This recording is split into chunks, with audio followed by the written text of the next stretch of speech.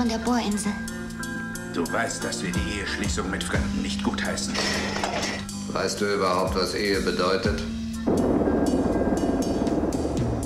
Das ist, wenn zwei Menschen in Gott vereint werden. Wir verehren dich als Ursprung jeder guten und vollkommenen Gabe. Tut mir, tut mir leid, wenn ich das sagen muss. Ich traue dir nicht.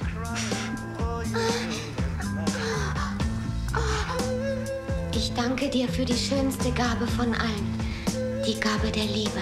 Ihr fehlt die Kraft dazu. Sie ist stärker als wir beide. Du verstehst das nicht, oder? Dir ist doch klar, dass ich bald wieder zurück muss, ja? Du musst doch weiterleben, auch wenn er nicht hier ist. Er ist nicht tot. Du bist nicht tot. Pass auf! Ihr Mann kann vielleicht nie wieder gehen. Er weiterleben. Ich bin am Ende, Bess.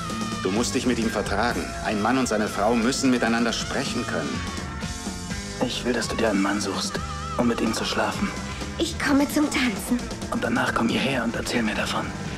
Schläfst du mit anderen, um seine kranken Fantasien zu schüren? Sie müssen sich wieder anziehen. Sie haben doch gesagt, Sie hätten mich gern. Hast du eine Ahnung, wie es ist, ausgestoßen zu sein? Ich fürchte, Sie sind da in etwas reingeraten, das sich Ihrer Kontrolle entzieht. Sein, sein Kopf ist voll Narben. Er ist mit Tabletten voll bis oben hin. Er weiß nicht, was er sagt. Sie muss hier raus. Hinfort mit dir, Bess McNeil, aus dem Hause Gottes!